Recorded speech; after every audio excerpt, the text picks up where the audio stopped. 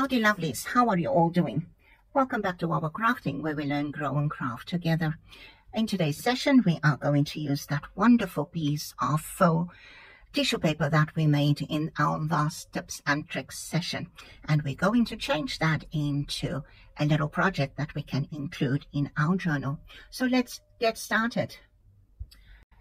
In a previous session I had shown you how I make or cut rather my own journal card and tag bases. I just want to tell you, this is the last one of that little bit that I have left. So you can see why I so often have to cut some more bases so that they are ready. Now for this little project, we're going to make a tag, a real quick one, and I'm going to just put glue, glue stick, not liquid glue, because the liquid glue will compromise the strength of our tissue paper because this is very flimsy. Remember, it's just one layer of the backing of our serviettes.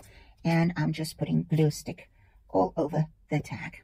Now you can add any part of this to your, to your project. I just have a bit there that's going to bother me slightly. I kind of like this, so let's see. When you put it down, make sure it's lined up nicely. You can then grab your piece, make sure it fits so try and fit it in because once it's touching base, that's about it. So very carefully, very gently, I'm going to take my trusty card and you will notice I'm rather pressing onto it than to scrape the card along this tissue paper. And I'm using a white card base because my tissue paper is white and I want that pop of color from the back to just go through. Now you can do this two ways. You can wet a paintbrush and run it across and tear it, or you can just trim it with a pair of scissors, which is what I will be doing. Just cut that and I will be ever so gently keep this together. See how my scissors has got glue on it. It's time for me to run some alcohol over and clean it just so that it's not so sticky. Get that sorted. This can be easily used in collages, or wherever you want to use it. Easy way, a cheap way. I will still one day show you how to do the same thing. Actually, it's not even worth it to make a video, but if you want to, let me know and I'll, I'll, I'll show you how to use colored archival inks to achieve the same type of effect. So just trimming this off on all four sides and then the top of the deck, we just trim the slanted parts off and I drop the tag and there's a bit there. I have pre-selected my goal that I want to use, but I need to get some bits and bobs, and I think I like that because it will look as if she's sitting on the postcard with those little wings. I kind of like that, but we need to get some color in here. So in my little container, I'm going to just rummage and see what is popping out. I like that. Awesome. Hmm. Something blue. Let's see. What is that?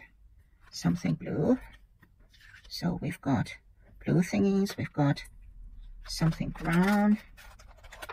What else can we see that's in here? Little things. I think it's from Tim Holtz. It's the tiny ephemeras, I think, called snippets. I know that part. That part I know very well. It's called snippets. So let's see, there's so many pieces, so cute, that can be used. And see, this is where I get lost because I see all these beautiful things and I can't make up my mind what I want to use. I think we need something to just break the red uh, apart. I mean, the we need something red to just, I don't know. I can't seem to make up my mind at this point. Tiny little things from the snippets kind of like that one also, just because we can. Maybe a bigger one. I don't know. I really don't know. We will see. Do I have that one already? They look very similar. Don't want a field label because she's not a specimen. Maybe like a library card. Let's see. There are some beautiful cards here. Shells, all kinds. And yes, I have taken parts of it out already I don't know which is which anymore. I'm so sorry. I tend to take the butterfly things out and put it in my butterfly box and so that when I'm looking for butterflies, it's so much easier to find butterflies. I like this, but it will take away the whole thing. And there's a tiny, tiny library card. See, that's why I like the snippets. You have everything the bigger cards have got, but in a tinier format. So let me just close this and let's see where this is taking us.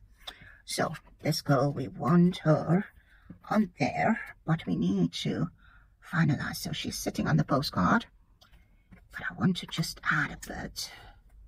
Maybe before we add her, let's just add a few things. Don't add it upside down now. I want to close everything that we have there. That will be defeating the objective. I just want to see, yes, there's a part that needs to be popped out. Isn't she just gorgeous? So there we have that. I think that looks kind of cute. And then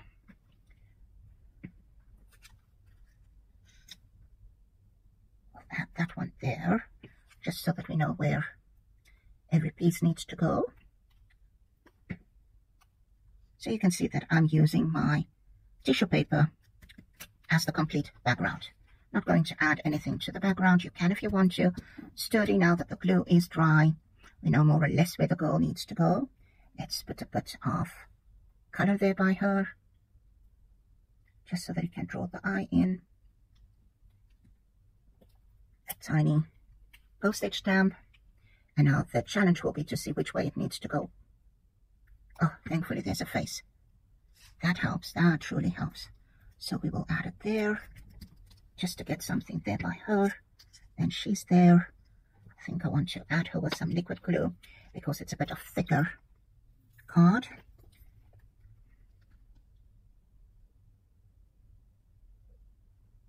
Just some liquid glue. In this case, I use Aleene's.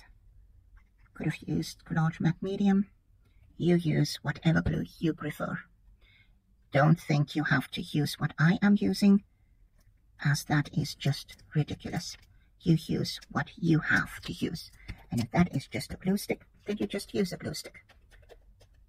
Just know that it sometimes might be a little bit more challenging to get things to glue down with only a glue stick. So let's see, there's some more monies involved. Just put that one there. It will look like a little stamp. And then this one. And I'm using glue stick. This one I can truly not see. Yep, there's a two, so that will work. I'll add that there. And it looks like a cancel postage stamp because there's that stamp on it. Just love them stuff. But it's not always easily available where I am. Going to put that there. Just filling in this area. And this I'm going to put to her left. Well, it's her right, but our left.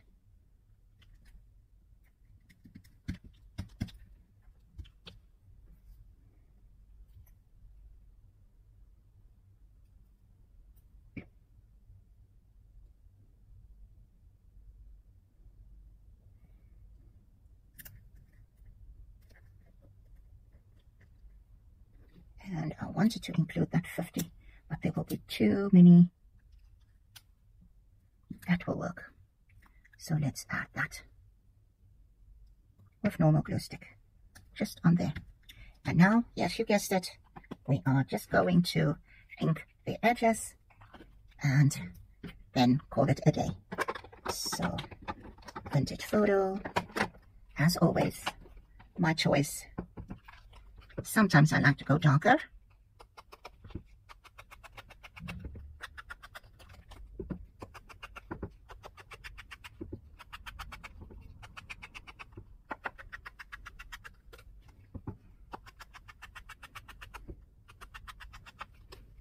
And maybe a bit darker.